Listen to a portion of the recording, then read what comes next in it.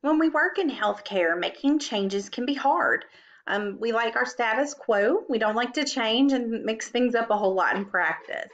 But sometimes we know we have a problem and we need to use evidence, research evidence to make a change. Um, it's difficult to know what to do first and how we should proceed in incorporating this research into our, our current practice. Therefore, there are several different models for evidence-based practice implementation, excuse me, in practice. And so I'm really going to go over two today, two of the more common ones that you see in articles that are published. And these two are what I personally find to be some of the most user-friendly. So the first one we're going to look at is the Iowa model for evidence-based practice to promote quality care, the Iowa model for short basically this one's kind of like an algorithm. You start at the top, you follow the, the cues, and as you go, it lets you know exactly what you should be doing in your next step. The top of the boxes uh, at the top kind of tell us what our triggers are for putting this chain of actions into play. Basically, we have some kind of trigger. It's either going to be a problem focused trigger, which means we have some issues in our workplace. It could be quality and risk issues like increased levels of patient falls or higher levels of CAUTI than we should have or CLABSI or any of that other alphabet soup that you hear about during your monthly meetings. That's obviously an issue and we need to use evidence to fix those problems. Sometimes we get new equipment or we get um, we hear things at conferences and we're like oh my gosh we're not doing that that's knowledge focused triggers Either of those triggers can cascade into these other actions. The first question I think is quite unique to this model. This is not all, a feature of all models. However, I think it's important. Is this topic a priority for your workplace?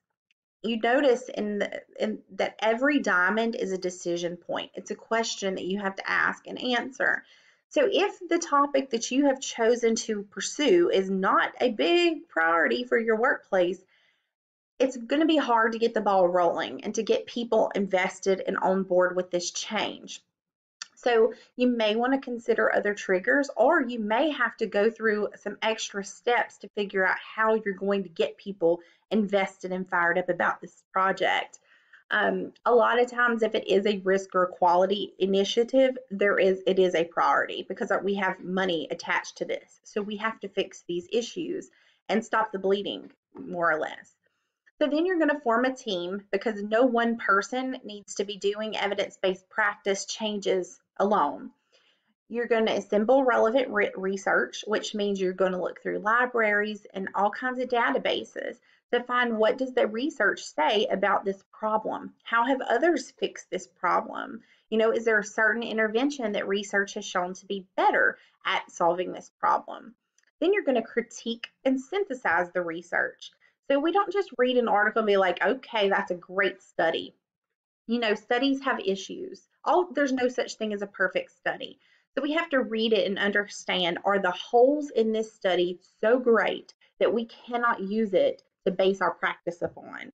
If it's that weak of a study, we should not be using it to um, change policies and practices.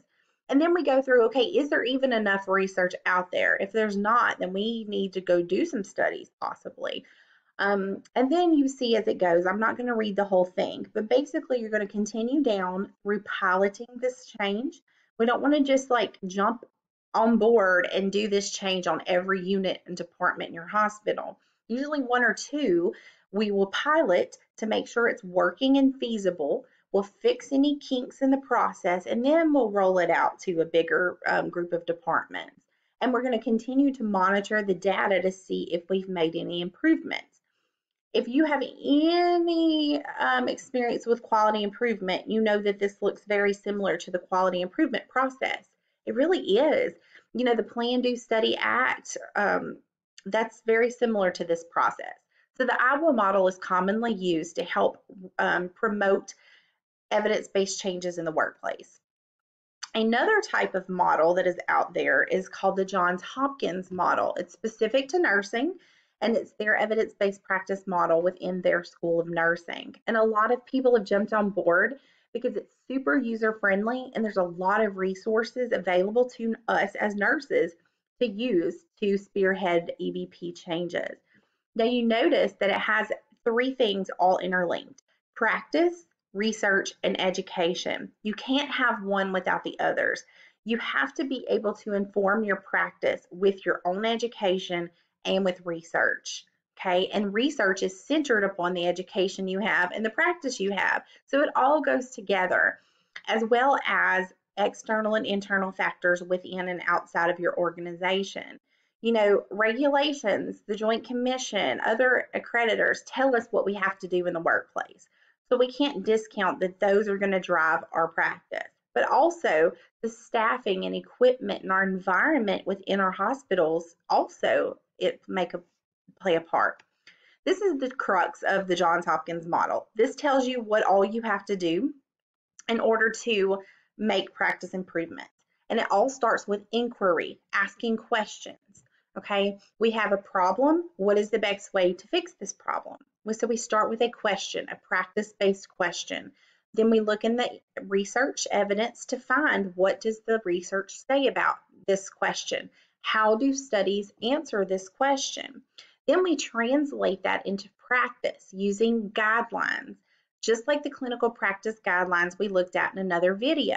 So we have to translate the evidence from all these various articles to succinct step-by-step recommendation one, recommendation two, etc. And the whole time we're doing that, we're learning and we're improving our practice, but our outcome is going to be on our best practices. Whatever the research says is the best practice set is what should be in our policy and procedure. And as we do that, we're going to continue to find more issues and we go back to inquiry and start the whole process over again. So this is a very handy tool as well. And we're going to be using a lot of the Johns Hopkins resources in this course because they are user friendly and widely used in the nursing practice. And so just to show you more of a words step by step, this is the step by step EBP process according to the Johns Hopkins model. Um, part of defining the problem is first of all having a team in place to be able to say what is our department's biggest issue we're facing right now. We might have five problems. We can't solve all five at the same time. So we have to focus on what is the number one priority at this point, define it, know exactly what it is, and then ask a question. And then all of the rest of the steps center on answering that question. So that is the essence of what evidence-based practice models do. There are others out there, but they basically provide you with a roadmap that tells you how to get from point A, the problem you're experiencing, to point Z, the solving the problem, fixing your policies and practices so you are actually doing evidence-based practice in your workplace.